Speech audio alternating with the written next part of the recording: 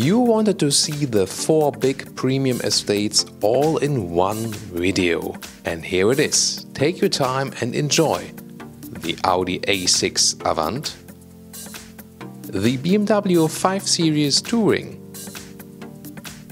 the Mercedes E-Class Estate or T-Modell as it is called, and the Volvo V90. We show all four cars in exterior, interior and driving.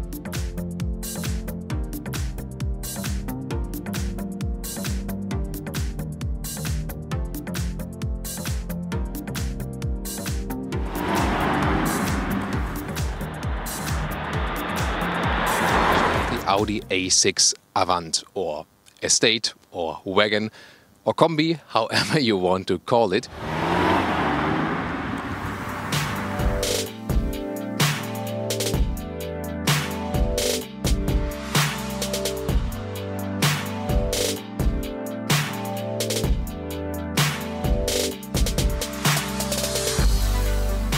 In the front we have this huge single frame grille.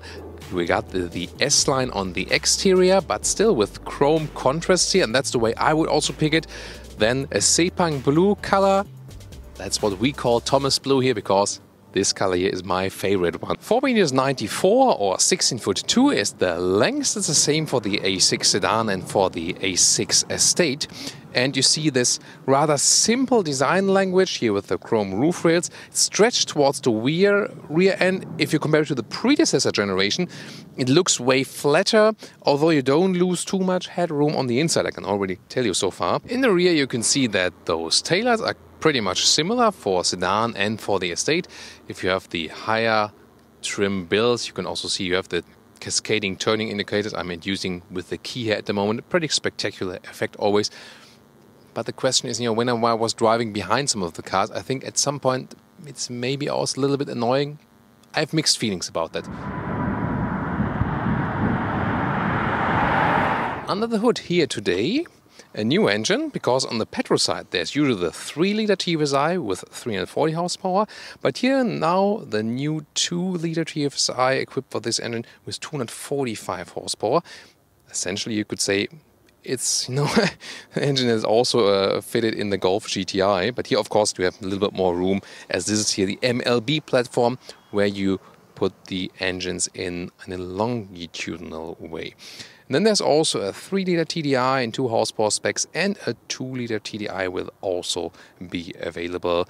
Those are your choices so far.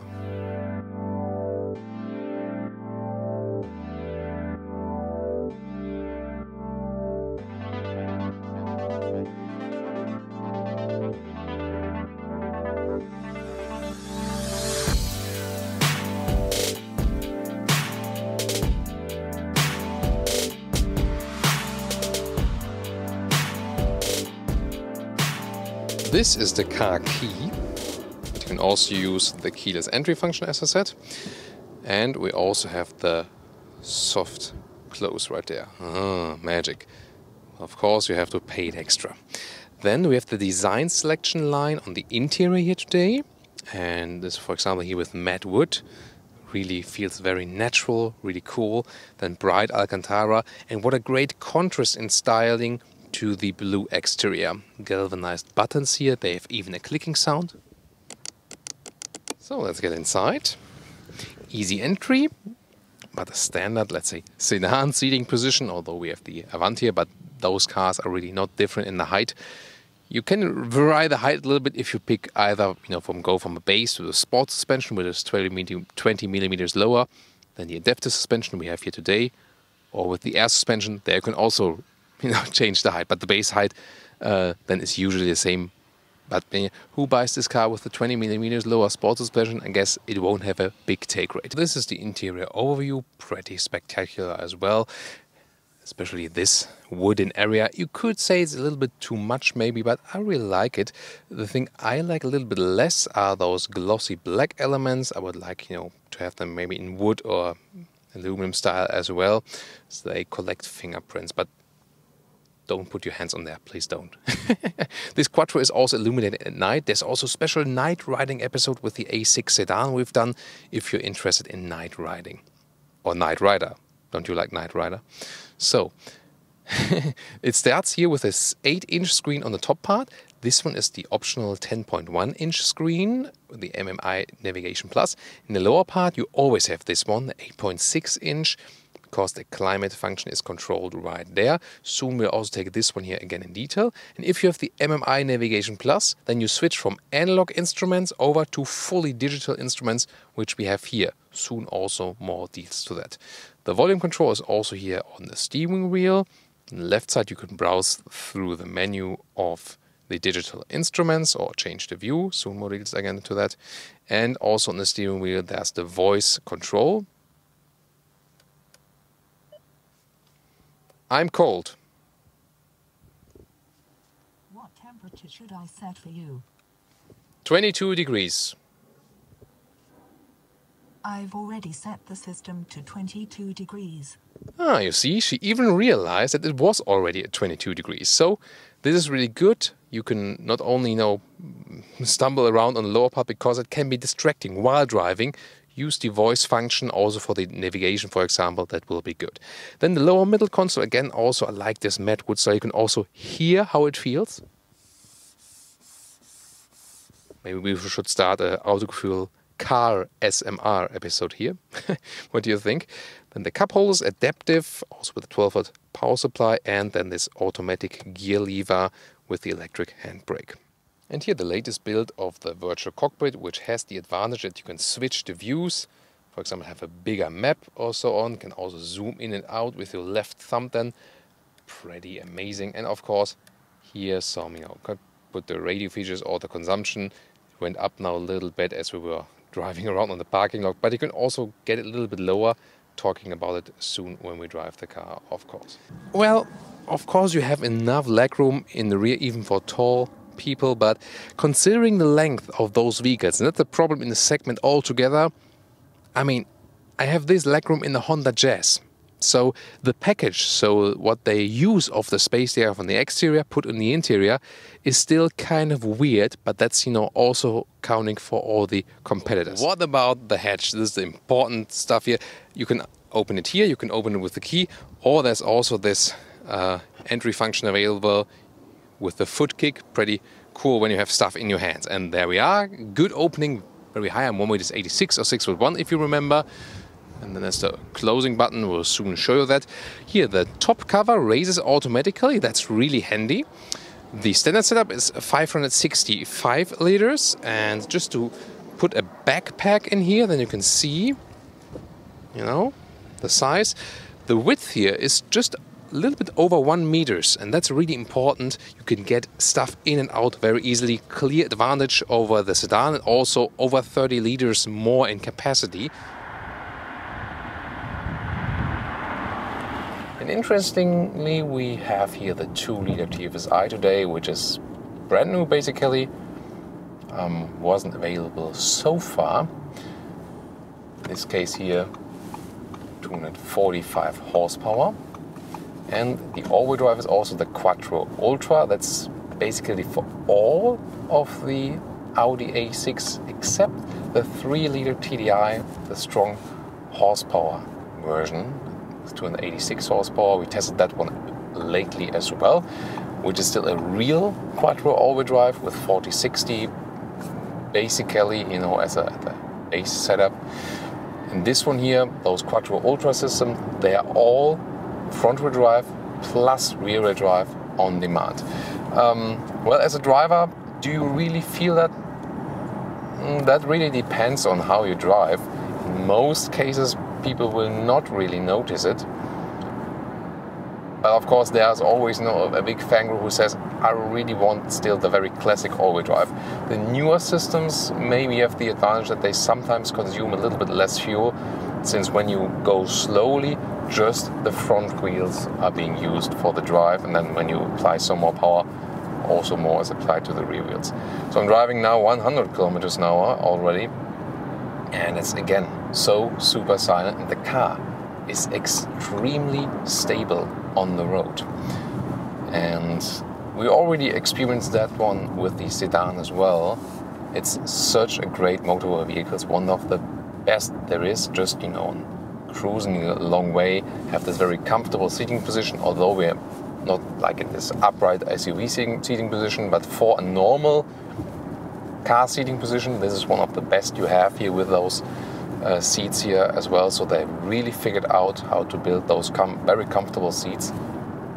No matter which material is used now, I'll let that aside now.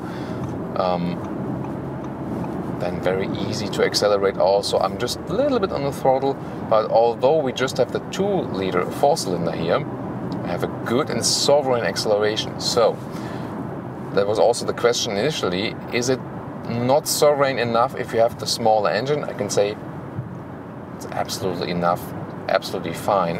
And we'll, of course, show you soon a little bit more acceleration that you can also experience that. But to me, it's also important that the engine is not only performing really hammered, but that it's also giving you, oh, quite cool with the planes, that's also giving you a sovereign, smooth and soft performance that you don't have, you know, to push all the RPMs until something is happening. So at the moment, there's unlimited speed, so we can go to the sport mode that we don't have to shift that much, goes more. Let's go just from 100, let's see.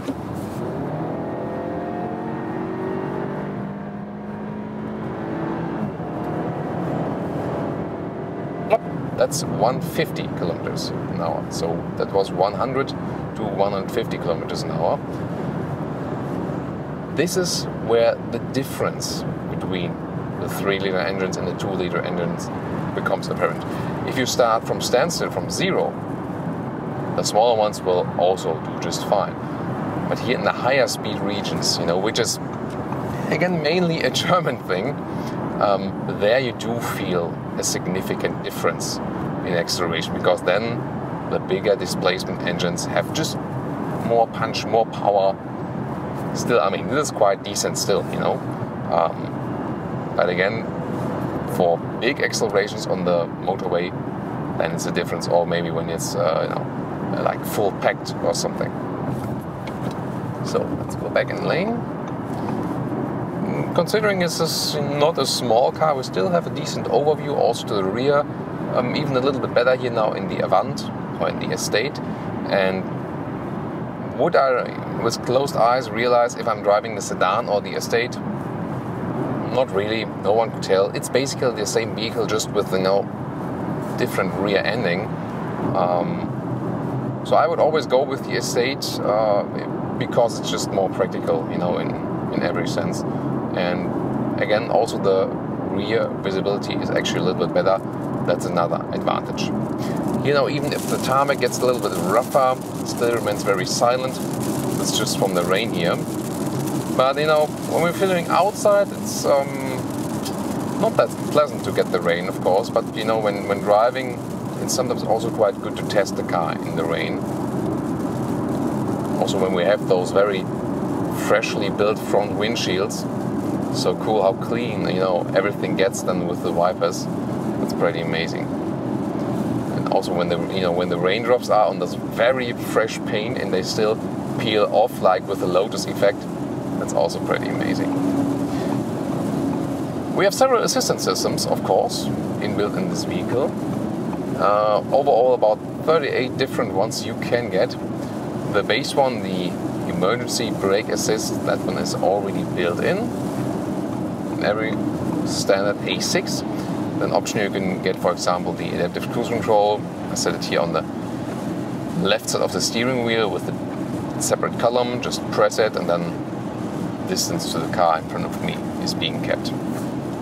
You probably also have seen the blind spot monitor, which appears then here in the side mirrors. This is actually to me one of the most important features to get, um, especially since the B pillars on those vehicles nowadays are pretty much blocking the views and so it's always good to have those.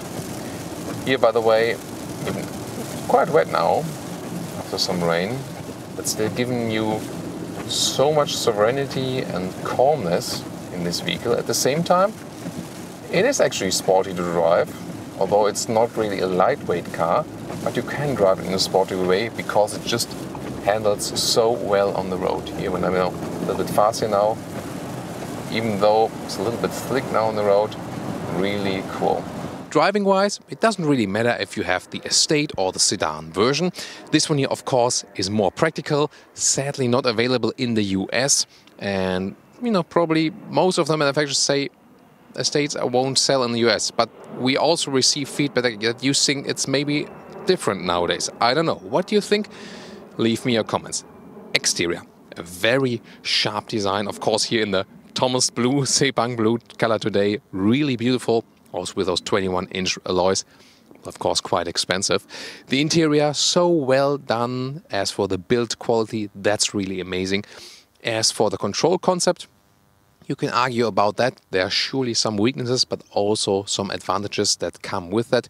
Of course, um, a big issue that they don't offer animal skin alternatives in the higher trims just in a low trim sometimes, or in the US, you can quite often also get the leather rest, but not in all trim levels. So that's something they have to work on sustainability wise. Other than that, really great what this interior is offering, especially then if you compare it with the trunk and the sedan. I would always go for this one, although I like sedans more visually. This one is just, you know, when you put a bicycle in the rear or something, um, with a sedan, you have sometimes, you know, when you put stuff in, just a little few centimeters that are missing, that's actually way more flexibility, especially when you flip the seats, for example, very long loading area and also in height. So overall, for sure, one of the best cars in this segment, especially due to this very calm riding and also the 2-liter TFSI, which we drove the first time for this vehicle day. It's actually a Golf GTI engine, you know? So it performed quite well. So I can also recommend this engine in the whole lineup. The BMW 5 Series Touring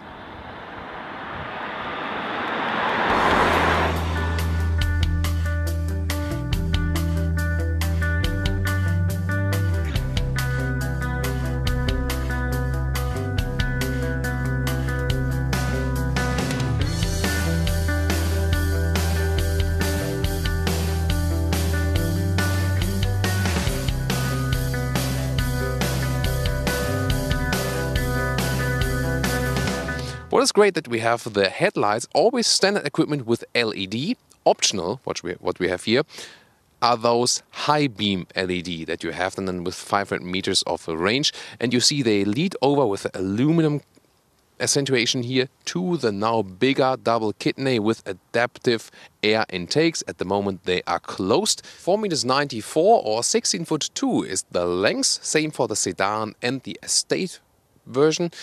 Here we also have a M Sports package just for the visual part with the M logo here. Then 17 up to 19 inch rims. So we see the 19 inch rims here and they look very beautiful also in the M style. Also the rear is rather conservative but you know they do have the strategy to go for an evolution in design and uh, this segment is also you know not about doing design revolutions in general the taillights, they're pretty similar to the ones we see at the sedan, just, you know, this area is of course different. And here you will see we'll still have the split hatch. And if engine doesn't really matter to you, you don't need six, need eight cylinders, whatever, you just say, I also want to go with the basic and maybe, even for that one, you can get a sporty styling.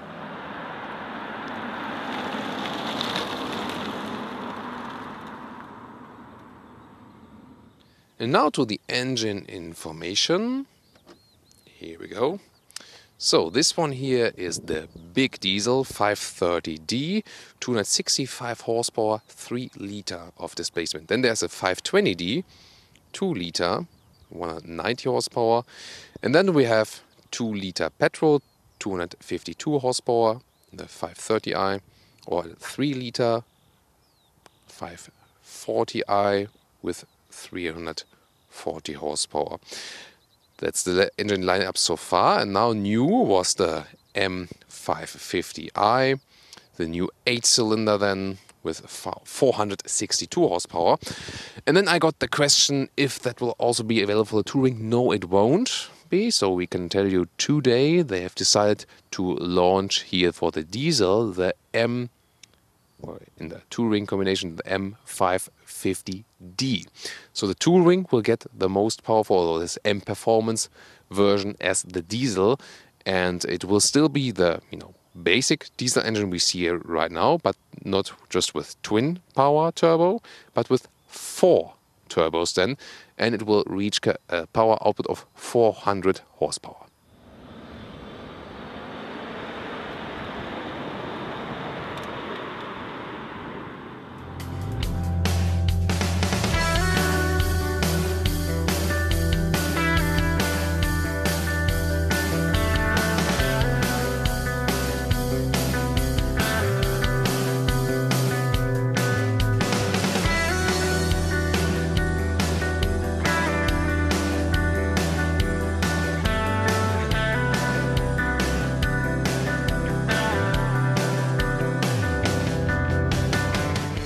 Big key here for the 5 Series.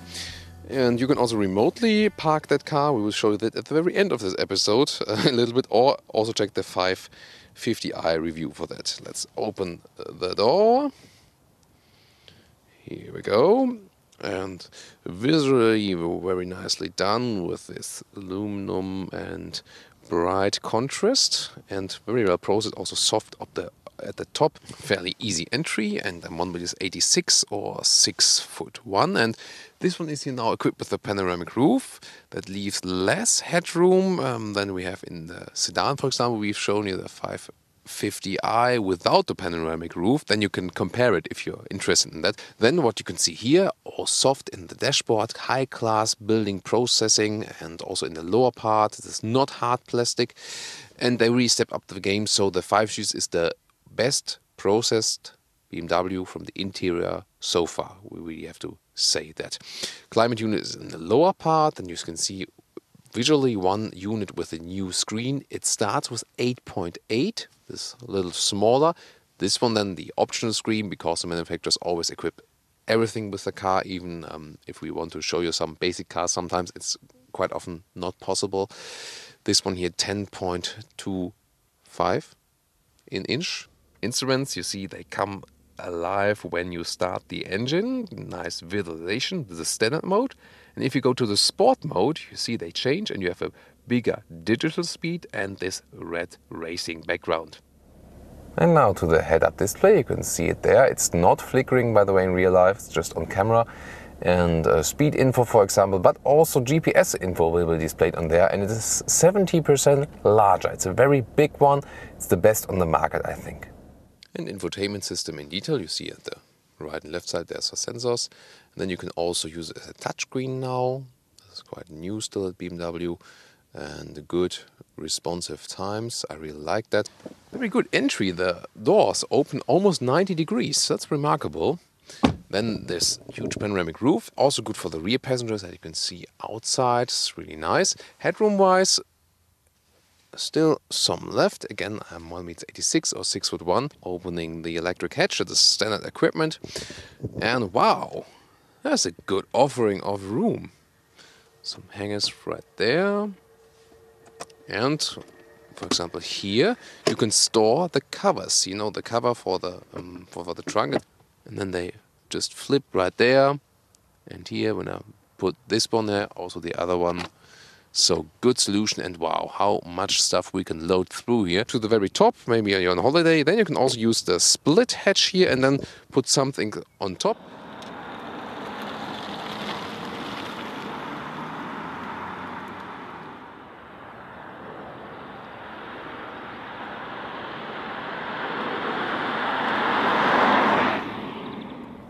So let's go with our driving part.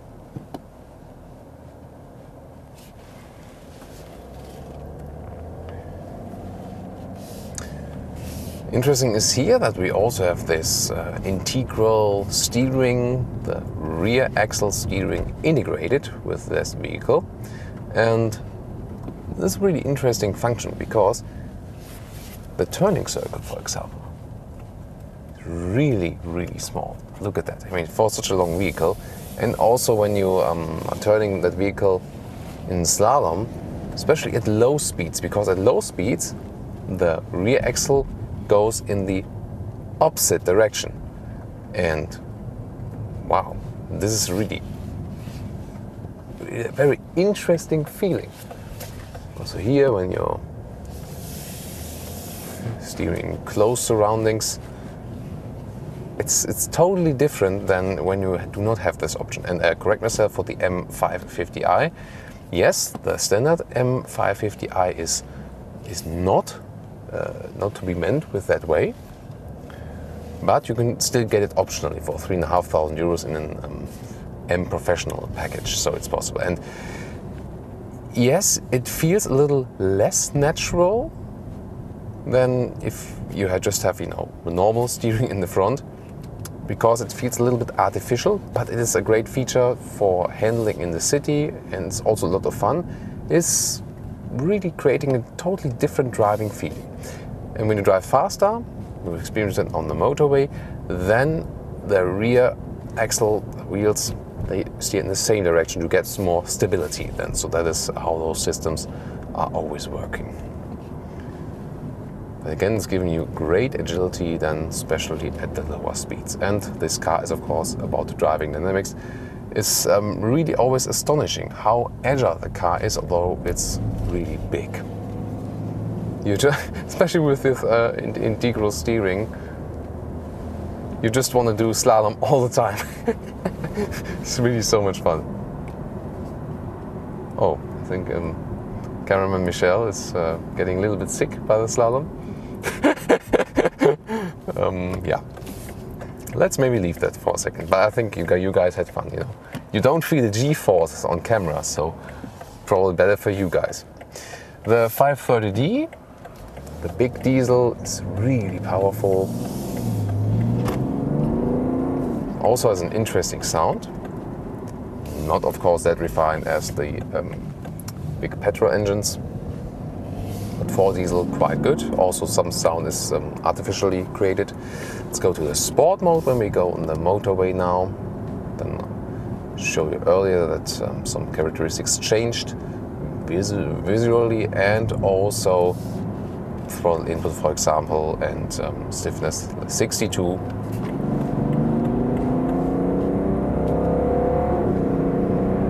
120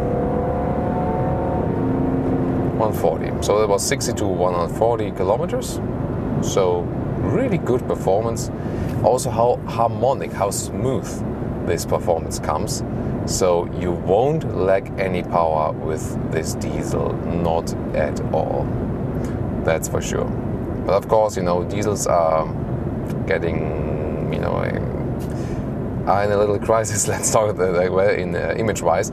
There's no great alternative yet to someone who's really dying 40, 50,000 kilometers a year. Um, you know, doing salesman, business service, service for example.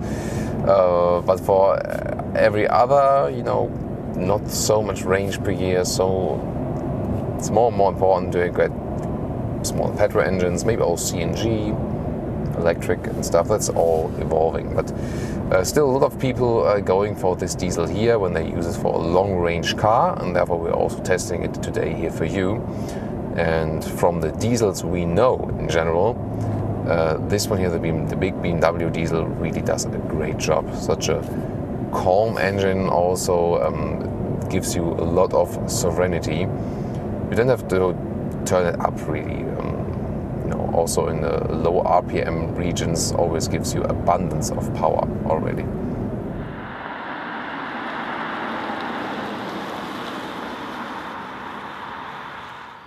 And now to our conclusion 5 Series Touring here for the BMW. So it was very interesting as we have more versatility um, in the rear, of course.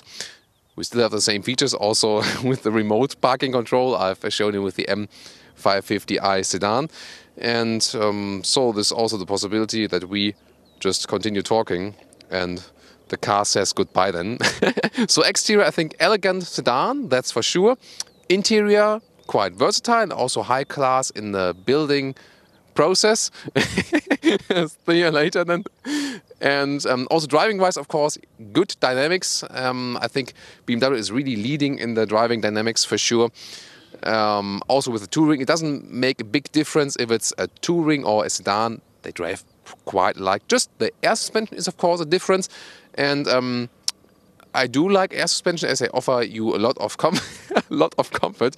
So, um, but you have to say that already the basis suspension here from the 5 Series is that great that you don't necessarily need an air suspension. Here it just makes sense if you really have a lot of stuff then in the rear that you still get the very same uh, level then. And so for the touring, it might make sense. In general, the suspensions we see from BMW very good.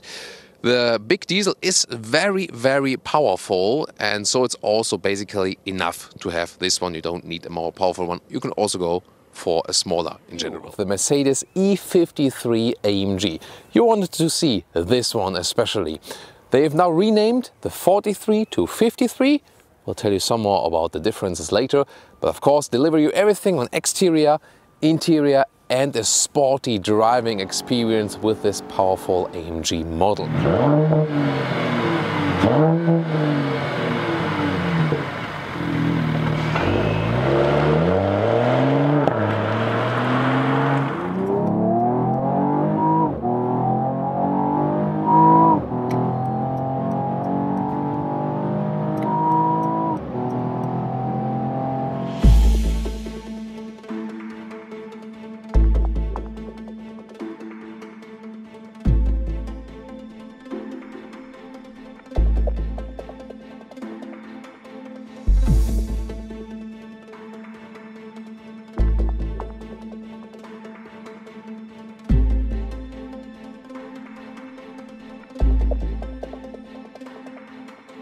You've already seen that we have the estate or T-model as we call in Germany for today, but everything we tell you will count for both sedan and the estate model. There will just be the trunk that is the difference. Everything else will be the same. In the front, the E53 features my favorite Mercedes grille with this diamond pin also with a special AMG logo. Then the sensors are hidden behind the Mercedes logo. 4 meters 92 or 16 foot 1 or should I better now say 194 inches. We had that discussion now lately if I should better put the US measurement in inches than in feet. Give me your feedback to that, please. Today, three measurements, but I want to really limit it to two. That's enough, I think. 19 inch, it starts with the E53. That's also what we have today, together with winter tires. I think that's also a good choice. If you go for bigger rims, they might reduce the comfort. Here also with the dual tone trim. A strong horizontal layout here for the rear design with the chrome stripe here across the car and then this, if you look at that detail at the rear lights, this crystal design really beautifully done. In general, the E-Class offers a 2-liter 4-cylinder engines and 3-liter 6-cylinder engines, both for petrol and diesel.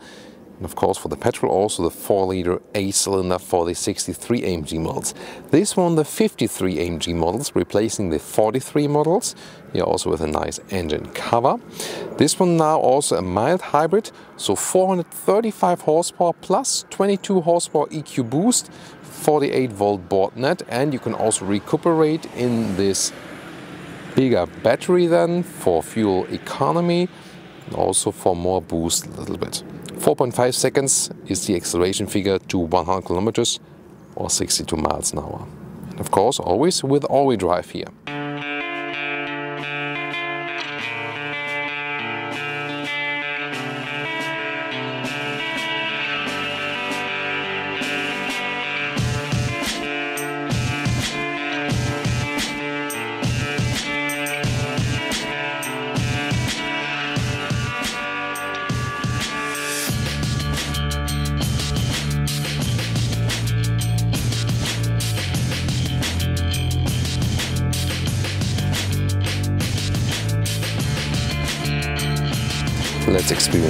Interior together.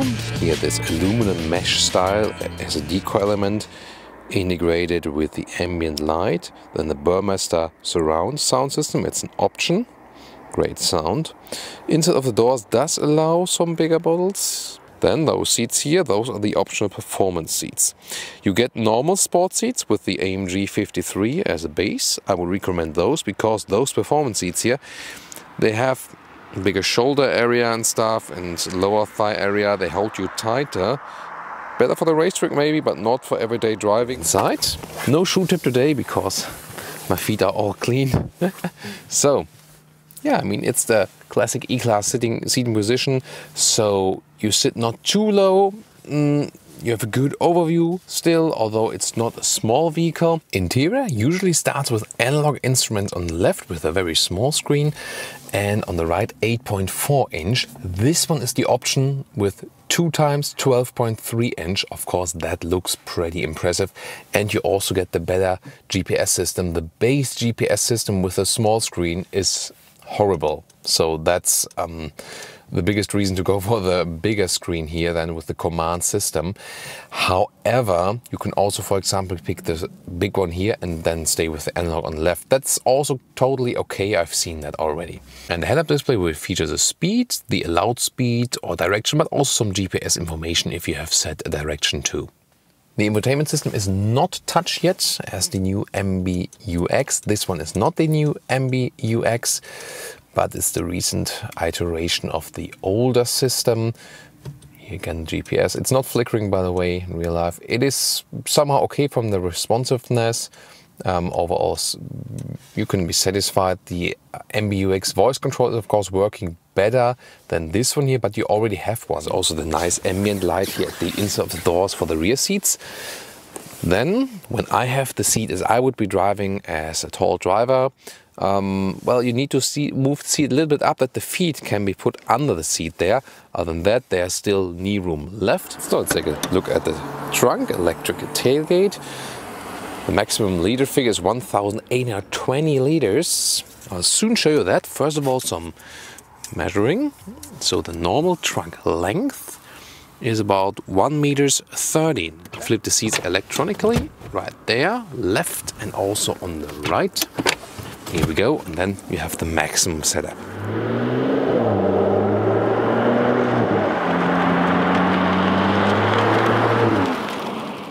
Welcome. That is comfort mode, but you already hear some exhaust note, of course.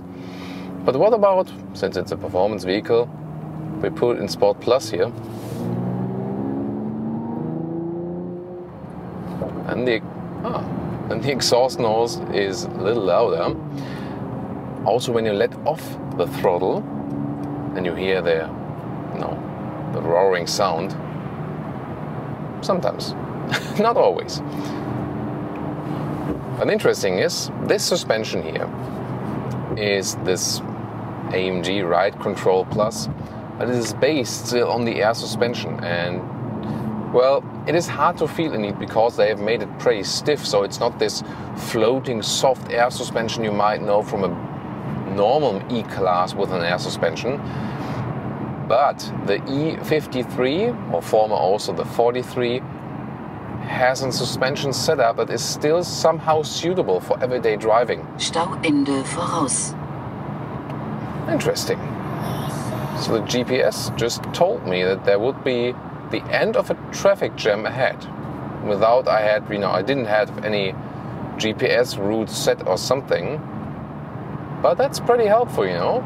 There's also um, this new assistant system they've been introducing now in the recent Mercedes facelift or the new models that the this Distronic, so the adaptive cruise control, already reduced the speed if you're going like really fast, like it's a German thing, sorry, like 150 or something. Ah, there's the end of the traffic jam. So it was really good to have the info, but we're getting off here anyway. But really good as for the safety feature. Here now again the, the acoustic warning from the autonomous emergency braking assistant, which is standard for the vehicle. Maybe just right before the truck. I'll start from 40 and let's go.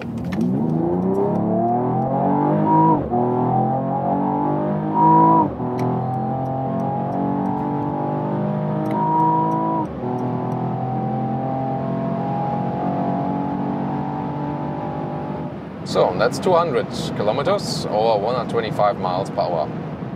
Wow. Felt powerful but refined. and even at about 200, it's still super silent in the car, you know. Wow. Both sedan and estate, they drive the same for sure. The 53 with a diamond pin grille, very beautiful, my favorite front grille. Very elegant exterior, one of my favorite estates. What about you?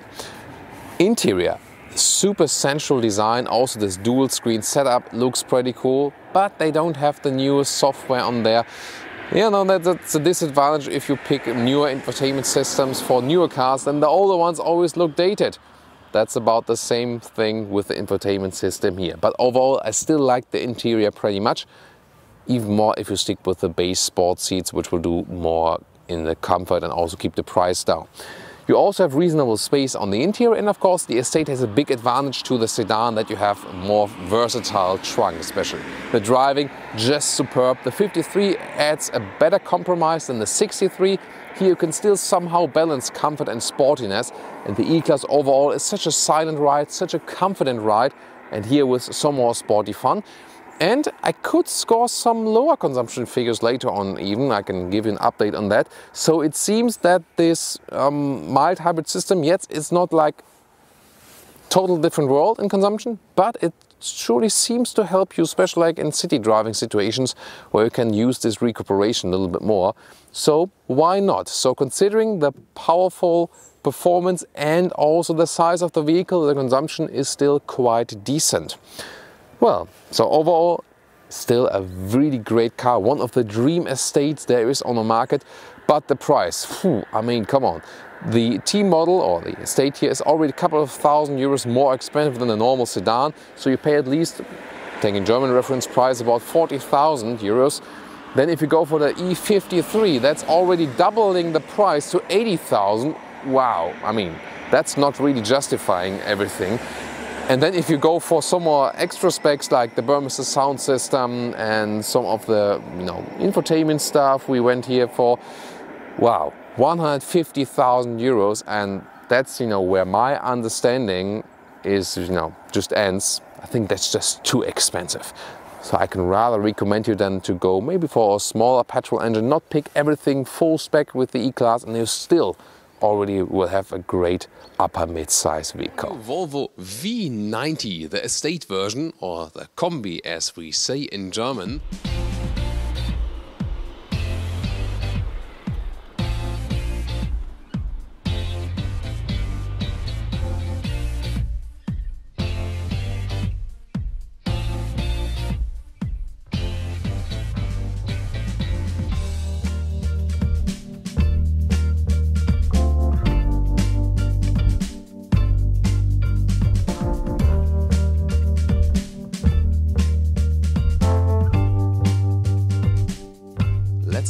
With the front here for the V90. It's the same as in the S90. This is an inscription trim level, the top luxury trim level, and here the front grille has those vertical fins. 4 meters 96 or 16 foot 3 is the total length of this vehicle. It's the same as in the S90. Here, of course, the V90, the biggest difference is that we got the continuous roof line for the estate version. And here we can see the taillights up close. They really remind us of the XC90 and are fundamentally different to the S90. And some of you said, mm, not really satisfied with the S90 taillights. I also think this one here is more beautiful, although I'm more of a shape fan guy of a sedan. But here I think the rear is more beautiful with the estate.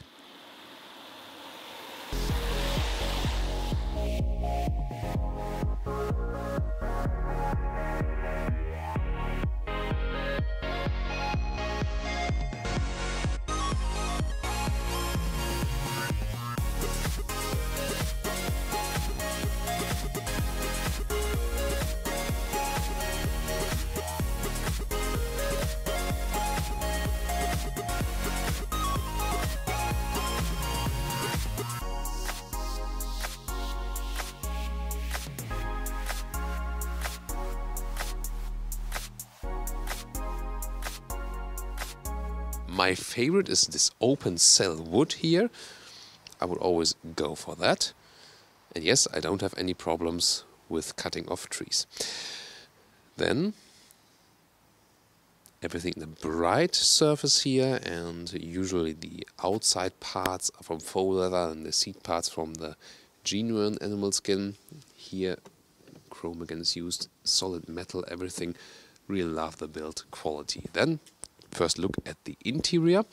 What is interesting from a style, I mean this fitting bright surfaces to the Mussel Blue on the exterior. That is a very beautiful setup. However, they are lacking of animal skin alternatives here in the higher trim levels. You have to go for the momentum trim level to get cloth seats, for example, or R design than for at least microfiber on the inside. My price performance would be to go for a middle trim level and momentum trim level because usually you already got everything you need inside there. Then with overview and really a beautiful job and one of my favorites also in this segment of this clean Scandinavian design horizontal lines right there and also the structure we can take a detailed look at that one soon then this infotainment screen you get it optional in the higher trim levels. I think every Volvo V90 that leaves the plant will have this screen then because hardly anyone buys the very very very basic Volvo. And have this ignition show for us. Right side RPM, left side speed, and in the middle one you can also uh, have some information, for example, on the uh, on the GPS, or also on your on your sound and so on. On the if you have picked something for the radio, I can scroll through some of the things here. You can also have your um, consumption, for example, right there. The doors open not that wide, but I mean, still, it's okay to get in here. Also, the beautiful Scandinavian design continued in the rear with the wood and the bright colors, and a lot of space in front of my knees. And wow, maybe the last time I tested it, I sat maybe too far to the rear. Now I've tested again. I'm one meters 86 or six foot one. Really a lot of space. Um, only I would maybe tell the driver to lift the seat a little, lift the seat a little bit up, that I can put my feet a little bit toward, uh, beneath the seat, it would be good. Then there's a net here. Then to the hatch in the loading compartment, you can also press the button on the key. There it is. You have to press a little bit harder. Then you see the cover slides up automatically. That's a clean solution.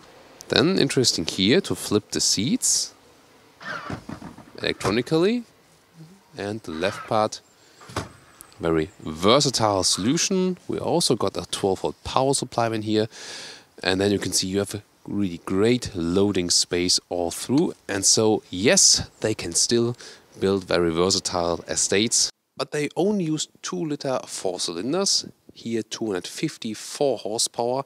And there's also the T6 with 320 horsepower. And on the diesel side there would be a D4 with 190 horsepower and the D5 with 235 horsepower. And the big engines, they always get connected with all-wheel drive and the automatic gearbox.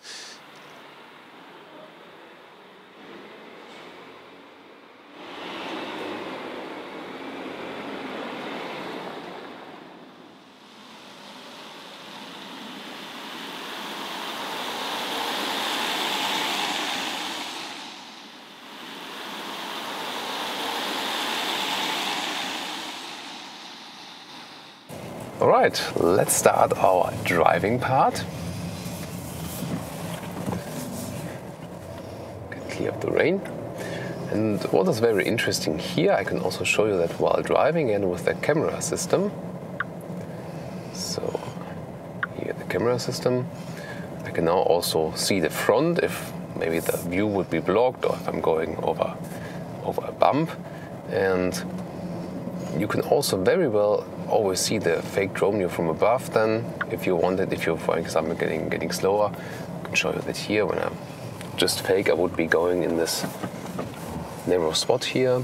I can either see the rear view camera or switch to the 360 view and then I can very well see if I do fit in here or not.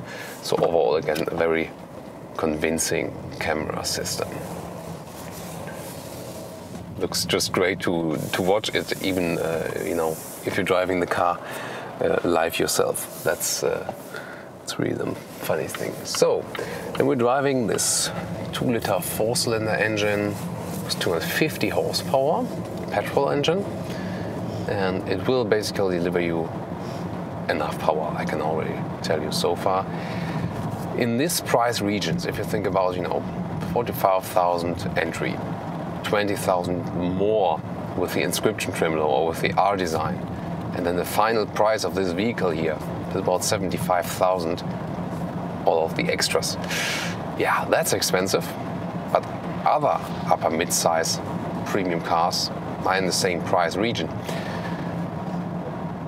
And then again, you have to think about does that fit to a two-cylinder, uh, four-cylinder, two, two, two-liter four-cylinder engine? That's it. And I personally, don't have any problem with it because you know we are on a transition to hybrid and electric cars anyway. So, I mean, if it's not the sport car, it's also not too bad that you don't have this roaring sound. So I'm fine with it. Are you as well? Looking forward to your feedback. Here in this driving part, we will tell you something about city driving,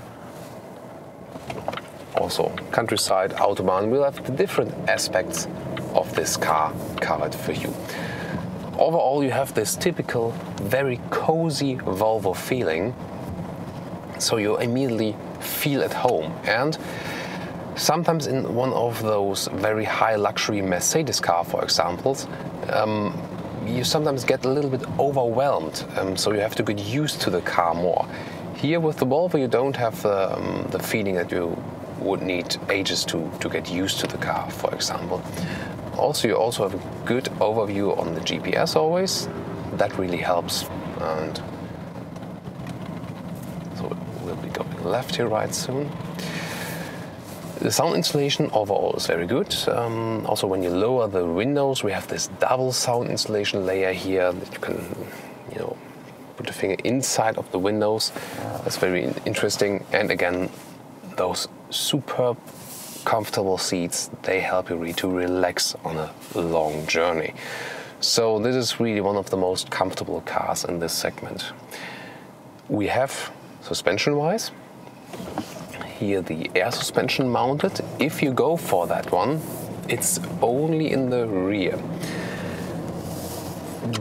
Do you, well, do you immediately feel that?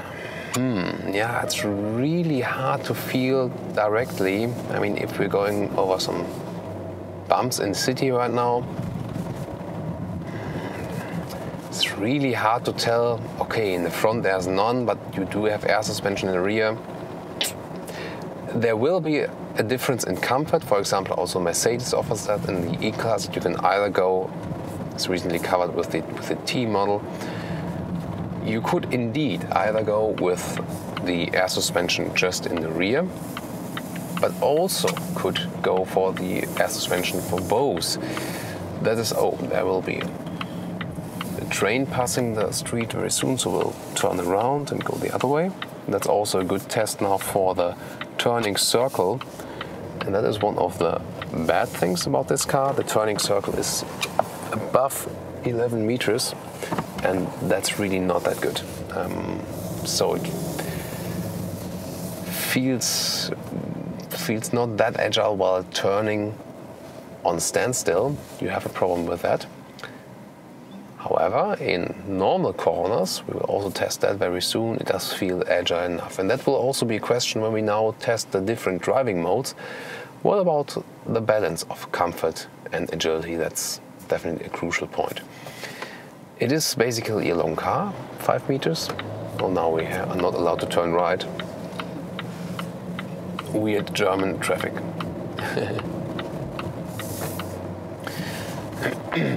so, steering wheel. It's not the most sporty or no, most direct one, but overall it it feels, let's say, it feels natural. And we will turn right here again then, and go just just go in a circle. You can also see when I go in a 90 degree turn how I have to turn the steering wheel, and we have experienced cars where we had to um, say turn it less. yes, the Swedes are still able to build very good estates. It's not the very classic ones with the square dimensions in the rear. You maybe don't fit that much stuff as in the very old models, but still very versatile to use here in the rear. And definitely in all of the reasonable aspects better than the S90. Just if you're really a sedan lover, then it's still way to go with the S90. I think even though I prefer sedans in general from the visual perspective, I would still go for the V90 to have the you know the higher flexibility. And as I said earlier, either in a momentum trim level when it's available in your market for a best price performance, or if it has to be the highest trim level you want to go for, then probably the R design we have already shown you to have a better seating setup. Here the inscription. Um, tell me which one you liked best there. I think of all the design, exterior and the interior, they did a great job there, the designers. And uh, also from the driving part, really a very competitive model. It's really a tough question which of the premium brands you should pick in this segment here. All have their different strengths. And now to our final verdict of those four large premium estates. First of all, we could not deliver all four cars with directly comparable engines. Audi and Volvo with a 4-cylinder, Mercedes with a sporty 6-cylinder and BMW with a 6-cylinder diesel. But that indeed was a very interesting choice to compare, because you can also think about the proper engine choice. The three German cars are all available as high horsepower sporty versions, the Volvo isn't. Overall, they all share similar list prices if you look at the price lists. The most efficient one is the BMW diesel, which is the best engine in this test if you think about price performance and economy. Exterior wise, Audi shows the most angularity, while BMW has the most conservative design. Volvo and Mercedes play a little bit more with sensual elements. The interior build quality is best with Audi and BMW. The room that is being offered does not differ that much. As for the infotainment concept, Audi and Volvo set all sails on touchscreens, whereas BMW and Mercedes also offer classic controllers and are also heading towards a better voice input. We felt the Audi had the best seating comfort, also the Volvo seats have a great ergonomic form and the Mercedes shows the most sensual and emotional interior design. Mercedes has also the most and best alternatives to animal skin on the seats. As for the suspension, the Mercedes Air suspension is the softest one in a base E class, so to say, or a luxury edition E class. The E43 is, of course, definitely stiffer. Noise insulation is also best in the E class. The BMW offers a good compromise between sportiness and comfort, gives you the most agile driving feeling, maybe also the most fun. The Audi is also agile already in the base version, also a lot of fun to drive. The Volvo does not want to be that sporty and focuses on calm driving experience. The question now is which of those aspects is the most important to you all four are very good cars, they are all very expensive and all have their slightly different focuses. You get the Audi A6 if you want a clean interior experience and also already a sporty ride. The BMW 5 Series if you want, let's say, the most fun sporty ride. The Mercedes E-Class, but not as E43 if you want the softest riding comfort, and the Volvo V90 if you want to stand out from the common Germans. So, what do you think? Which one of those four cars would be your favorite? Please vote and comment also in our comments section. And I hope you really enjoyed this in depth look.